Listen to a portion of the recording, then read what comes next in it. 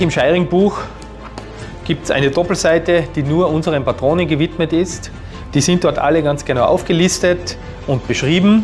Es sind auch unten einige Schussbilder dabei, die werden von Zeit zu Zeit immer wieder ergänzt und erneuert. Wir fertigen sehr viele Kaliber, die es im Handel nicht gibt. Da sind wir dadurch gezwungen, eigene Munition herzustellen. Ja. Und diese Munition ist natürlich auch präziser als handelsübliche Munition.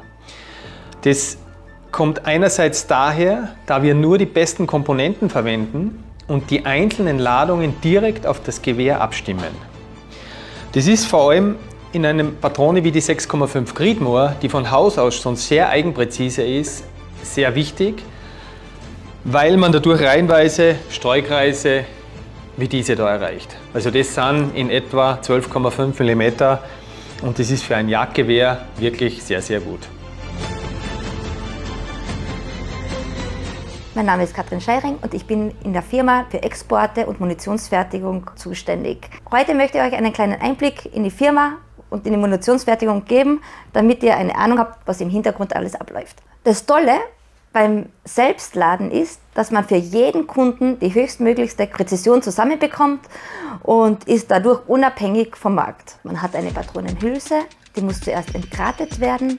Das heißt, es wird abgeschrägt oben beim Hülsenmund. Dadurch ist das Geschoss feiner zu setzen und man hat einen feinen Übergang. Danach wird das Zündhütchen gesetzt, welches wichtig ist, damit das Pulver gezündet wird. Danach wird das Pulver eingestellt. Das ist die Staubkörncheneinheit. In Grain wird das gemessen. Das ist sehr fein und da kann auch ein Pulverkörnchen wirklich entscheidend sein, ob es funktioniert oder nicht funktioniert. Natürlich testen wir bei jeder unserer Kundschaft, ob das für dieses Gewehr geeignet ist, damit wir die höchstmöglichste Präzision zusammenbekommen.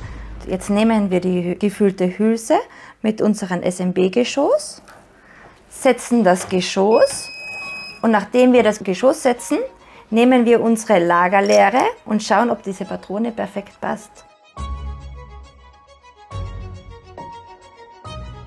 Um eben diese kleinen Unterschiede in einer Patrone auszugleichen, wird jede Patrone handgeladen und handvermessen.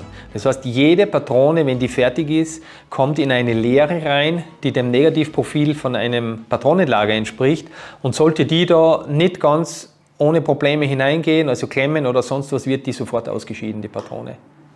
Bei uns wird jede Laborierung, die wir machen, mit einer Seriennummer versehen und dadurch wissen wir auch, welche Kundschaft diese bekommen hat und wir können diese im gleichen Maße wiederherstellen.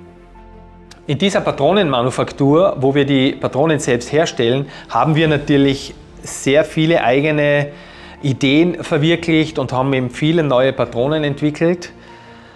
Uh, unter anderem ein spezielles Afrika-Kaliber, weil uns die 470 Nitro Express einfach nicht die entsprechende Leistung geboten hat.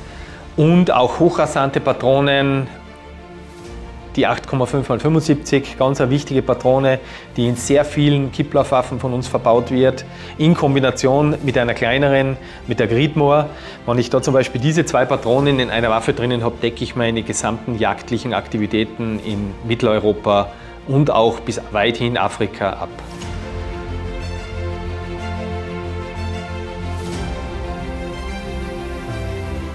Ganz, ganz wichtig, warum wir auch Patronen erzeugen für unsere Kunden. Schießt ein Jäger nur 100 Meter oder vielleicht 200 Meter, spielt es keine so große Rolle, wie präzise so eine Patrone ist.